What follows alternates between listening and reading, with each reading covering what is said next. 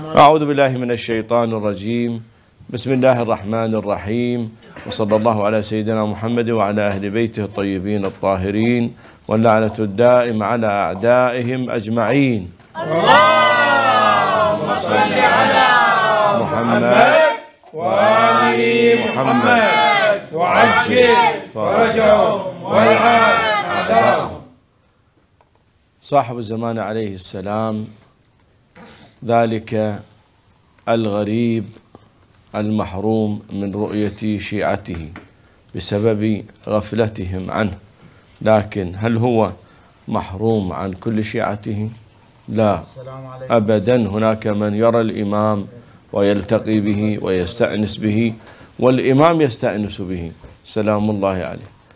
وهناك من يدخل على عادته ليرى إمام الزمان عليه السلام في الضريح المقدس. ويرى ما يفعل الإمام سلام الله عليه. هذه من النعم الكبرى على كل أحد. إذا الله خصه بهذه النعمة العظيمة. أنه عندما يدخل في مجلس يرى صاحب الزمان في مجلس ما يسلم عليه يسمع صوته ربما يتحدث معه. هذه أعظم النعم. لماذا نحرم منها؟ لغفلتنا عن إمام زماننا. لذنوبنا التي حجبتنا عنه لهذه النفس الضيقة التي لا تستطيع أنها تواكب الحياة. كل شيء يضيق على هذه النفس. عليك أن تجعل نفسك تسعى العالم أجمع. عليك أن تكون ذا صدر رحب. هنا تكون يعني البشارة والبشرى والابتسامة لا تفارق وجهك. حتى أنه علي عليه السلام لأنه يتبسم في وجوه أصحابه. قالوا يعني هكذا ذكر أنه آه، امرؤ تلعابة يعني أعابوه لأنه كان يبتسم بوجه محبيه وشيعته. فأيضا نفهم أنه الكلمة طيبة صدقة والابتسامة صدقة. أيضا سعة الصدر وانشراح القلب له معنى كبير عند المؤمن مع المؤمن الآخر الذي حوله. وقعت هذه اليوم واقعة عجيبة وغريبة وحقيقة تحتاج إلى تأمل كبير. كل واحد منا يحاسب نفسه هذه الليلة لماذا لم أكن أنا كالسيد بحر العلوم؟ لماذا نحرم نحن من الذي كان يراه السيد بحر العلوم وغيره من العلماء أو من أفاضل الناس أو من أوليائهم؟ على عادته ذهب السيد بحر العلوم إلى حرم أمير المؤمنين عليه السلام مستأنسا بزيارته وذكره فعند دخوله دخل وإذا رأى العجب العجاب رأى نور الله عز وجل في أرضه. اللهم صل على محمد وعلى محمد وعجل فرجهم ولعن أعداهم ماذا رأى؟ رأى هنا نور الله عز وجل رآه عندما دخل إلى حرم أمير المؤمنين عليه أفضل الصلاة والسلام بدخوله ونظرته وإذا يرى صاحب الزمان عليه السلام جالسا عند رأس أمير المؤمنين عليه السلام ويقرأ القرآن بصوت شجي يأخذ مجامع القلوب فنظر وإذا يرى ذلك النور جالس عند رأس أمير عليه السلام ويقرأ القرآن بصوته الشجي الجميل.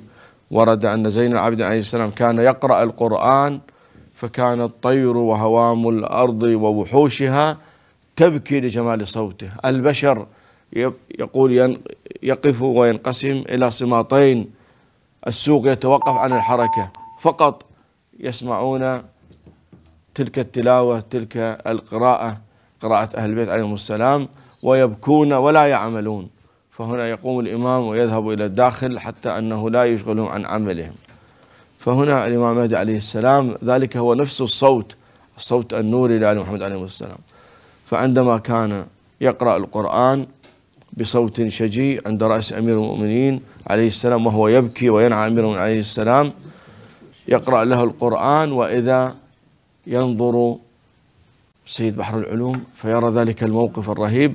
مباشرة قرأ بيتا من التعزية وهو شعر شعر بالفارسي. أنا ما وجدت له تفسير أو شرح واضح يعني أنا استعنت ببعض الأخوة جزاهم الله خير. حاولوا أن يوصلوا حاولوا أن يوصلوا ذلك حاولوا أن يوصلوا ذلك إلى السيد بالمعنى لأنه الشعر كان يعني من الواضح أنه بليغ جدا. فأنا حاولت أن أتواصل مع بعض الأخوة لشرح ذلك أوصلوا له إجمالا. ماذا يقول؟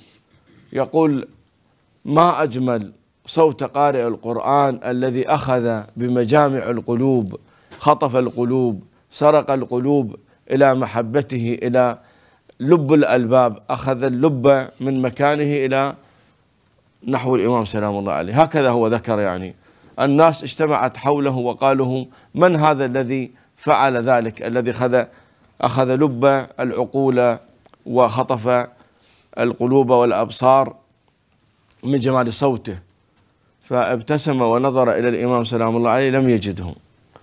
فهنا حاولوا أن يعرفوا منه ذلك ما أجابهم. لماذا؟ لأنه كان يحفظ السر.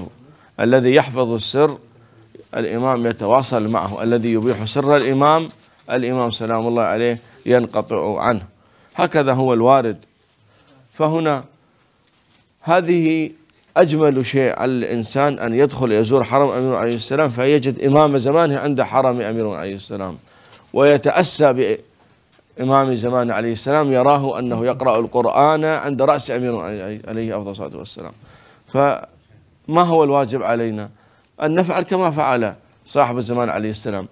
نذهب إلى الحرم ونجلس عند الرأس الشريف ونقرأ القرآن ونبكي وندعو ونقرأ التعزية لأمير عليه السلام.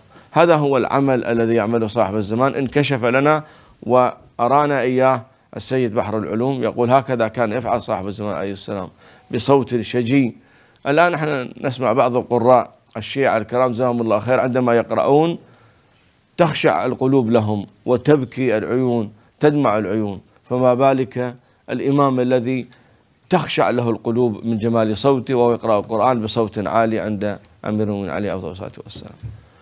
فهذه كلها لنا نحن حتى نفهم كيف نتعامل مع المعصوم. صلوات الله وسلامه عليه.